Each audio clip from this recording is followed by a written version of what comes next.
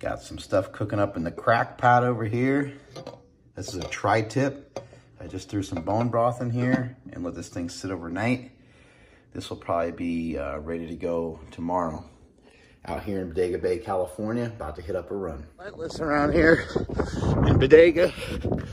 We're still getting after it. Still running them. Doing the best I can. Getting snot flying all over my face.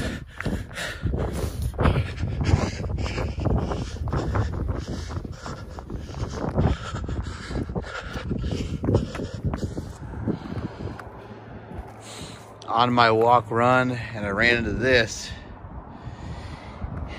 Maybe I can have a bench dedicated to me someday. For all the walking that I do and all the walking that I'm encouraging everybody else to do. Stay on top of those walks. I'm on my walk run right now, trying to mainly run all the hills out here in Bodega Bay. And uh, it's a real ass kicker. We got another hill coming up see the fog. I love this place. It's, it's really, really an extraordinary, extraordinary place. We're not near the beach at the moment. I kind of ran away from the beach.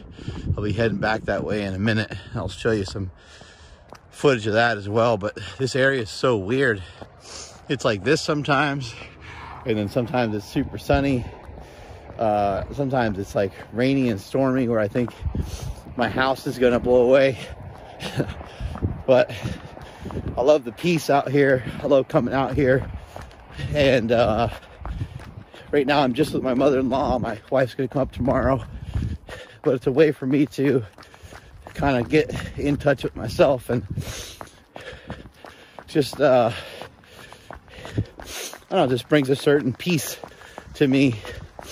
Um, not attached to work or slingshot or super training gym when I'm out here and that's a pretty cool feeling. It feels amazing to be 43 years old and to feel the best I've ever felt, to be in the best shape of my life. But I got it because I'm getting it, and that's the only way you'll ever you'll ever have it yourself. You have to go out and get it. You have to go out and earn it. Earn your discipline, and you'll earn your freedom.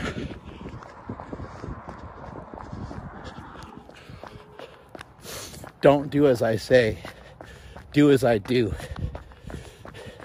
Get that invention off your chest. Start doing that podcast. Start writing a book. Start walking. One day, turn your walk into a brisk walk. One day, turn your brisk walk into a run. One day, turn going into the gym at 12 years old into being a fucking powerlifting monster, into bench pressing 854 pounds, squatting 1,080. It all starts with small steps. It all starts with getting inertia. It all starts with getting momentum. And the only way you're going to get it is if you go out and get it yourself. One foot in front of the other. Gradum ferociter. Step by step, ferociously, consistently, constantly, never giving up, never slowing down. Other people will want to wreck your dreams, your hopes, and they're gonna say, Why are you doing all that? You can say, Fuck you. I'm doing it because I want to be better. If you want to be the same, then you stay right here and keep spinning, keep spinning in circles and keep cutting corners and keep chasing your tail. Strength is never weakness. Weakness never strength. Catch y'all later. Some of these hills out here are stupid. They really are. Like, this one doesn't look bad,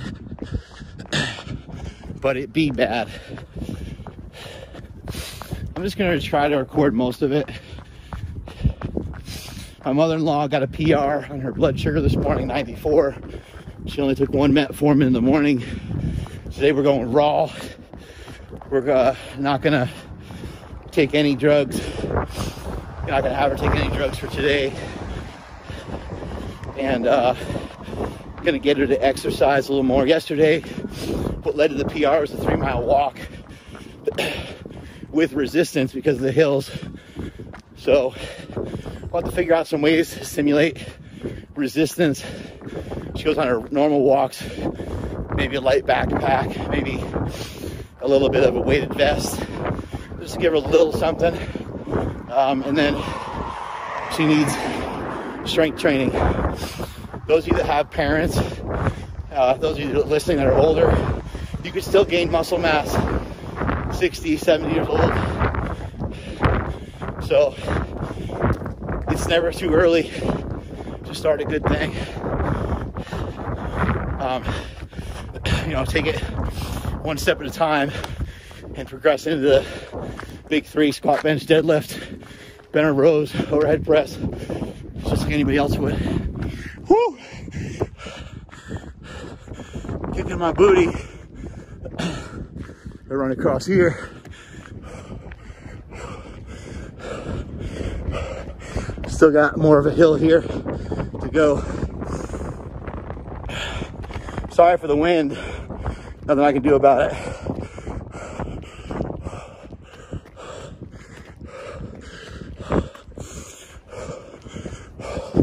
Trying to pick up those feet, pick up the knees.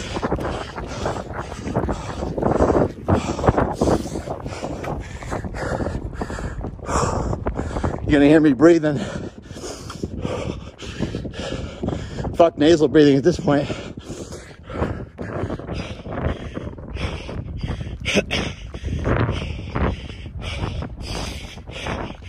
Pushing through the best I can.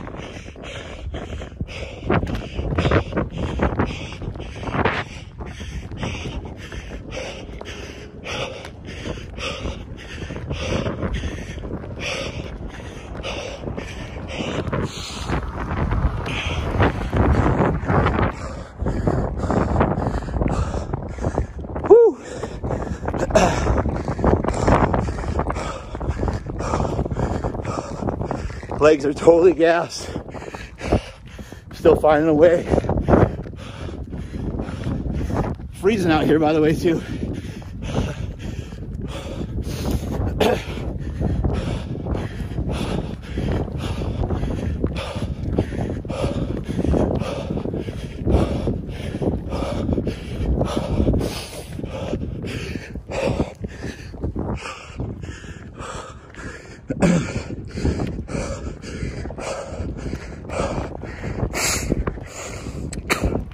Whew. Lots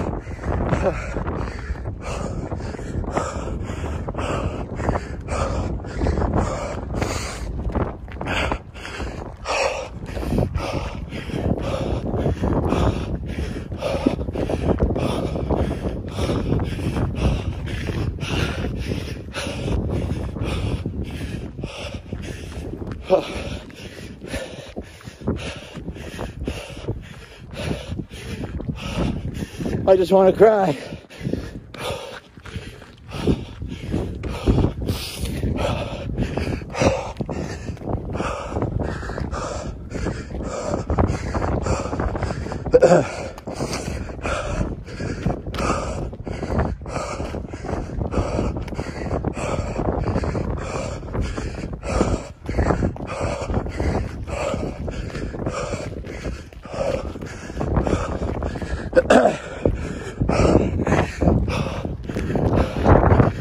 The weird camera work.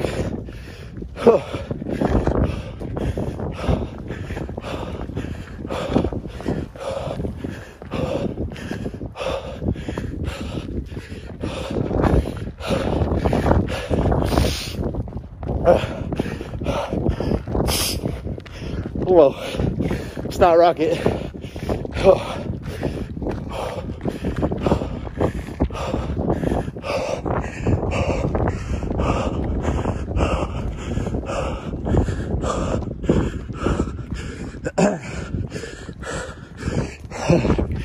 All downhill from here.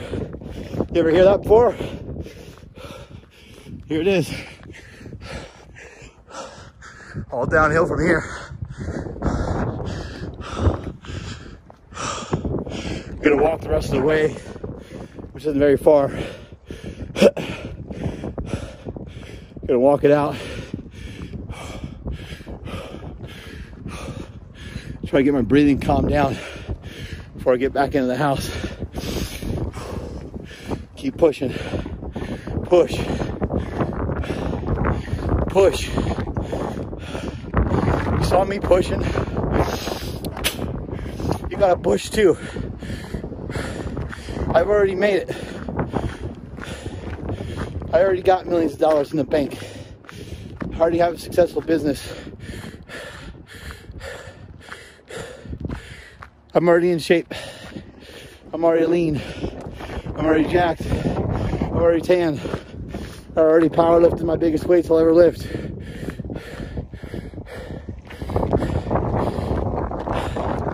But what drives me, one is my family. I know everybody's watching. You guys drive me. I know you're watching. What drives me though too is what have you done for me lately? What shape are you in right now? I don't care about what you did. I don't care about what you've done. What are you doing now? CT Fletcher's still getting after it. He's still training. Hugh Jackman is still deadlifting. The Rock, look, Rock's made it. By the way, shout out to The Rock and his family. So sorry with the death and passing of Rocky Johnson. Really inspirational professional wrestler for many years and inspiring person to millions of fans, millions of people. And I'm sure that had to be, that's his mentor, that's his sensei, that's his dad. Man, just uh, God bless all of you and uh, do the absolute best that you can. You know, try to find the traits in that person that died and uh, have those things that you admired most, have them live on through you carry out their legacy. But man, it doesn't matter where you're at. It doesn't matter where you're at at the moment. You can keep working towards getting better. And it also doesn't matter what you've been. It doesn't matter what you've been. You're not going to be any happier when you get to your goal. You're going to be happier in the pursuit and the chase of your goal. Trust me on that one. I know I wanted to bench 800 and then it turned into 900 and I barely missed an 887 bench in a competition. And that's what my heart and brain focuses on. Not so much on the 854 bench. I wanted to squat a thousand pounds and it turned into 1100. I did 1080 and I got crushed with 1085. Remember what the definition of success is here. You want to have a worthy cause, a worthy thing that you can pursue. And if you know where you're at and you know where you want to go and you got momentum towards where you're at and where you're going, that's being successful. So it doesn't matter how much money you have. It doesn't matter the physique you have, the strength you have, the things you have, the things you had. None of that is none of that is relevant to what I just said. Where are you at? Where do you want to go? Are you heading there? Because even someone who's great can be in a constant decline. And that's not very impressive. That's not very attractive. That's not what greatness is all about. Greatness is all about a relentless, a non-stop pursuit of getting better. And that's what I'm after. I know many of you are too. Uh, gonna grab my mother-in-law. We're gonna go lift some weights. And uh, I think we're gonna shop a little bit and uh, no eating of any kind. I had a little bit of tea this morning, decaffeinated tea. Maybe I'll have some bone broth with no added calories to it, no added butter or anything. Just to give me a little something, but uh, no calories, no protein really being taken in throughout the whole day. I'll probably eat my first meal at like two or four, somewhere in there. On another walk and uh, just got done with a little bit of weightlifting with this one over here. How was it? It was actually great. It was Felt, fun. it felt good? It felt good. Yeah, Felt she was good. handling some 15 pound dumbbells on some rows. Uh, we had her, or 15 pound kettlebell, had her work on some deadlifts to work on kind of a hip hinge type thing. Had her work on some squats, some uh, lat pull downs, seated row, a little bit of triceps on the way out to get that pump. and uh, now I think we're gonna go maybe see a movie, go shopping for some eggs and meat. Just got done watching a movie. It was really good. About to eat some salmon. I'm at Whole Foods. Bought a bunch of hard-boiled eggs. About to start feasting. Got some epic bone broth. This is the one that I buy. Epic bone broth. Beef jalapenos, the best tasting bone broth. And then I threw in two eggs and I threw in some of this Kerrygold butter. And I'm just gonna add some salt and I mix it up in the Ninja Blender out here hitting up another walk in Bodega. Got my little light on so we don't get hit by a car. Got grandma back there somewhere hanging in there.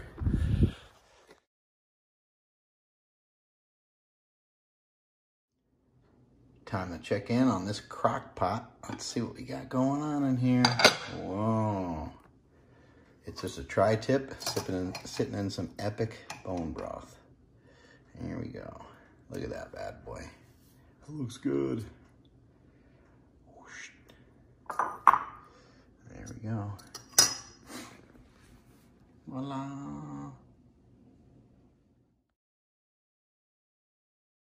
Thick slice, dry rub bacon. Look at that.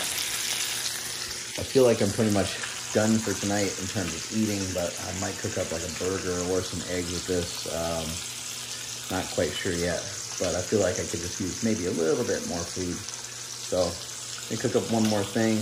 That's pretty much it for today. I'll uh, get a shot of it in here in a second. But uh, I just wanted to sign off and um, there we go. Another day, another day of World Carnivore Month. I want to encourage all of you who haven't jumped in yet to jump in. For those of you that are already on it, keep staying on it. Keep staying with it the best that you can. Stay as honest with it as you can. When you have options like this, bacon, sausage, uh, any any cut of steak that you want, uh, any type of uh, ground beef. You can eat uh, elk, bison, chicken, turkey, any sort of wild game that you want.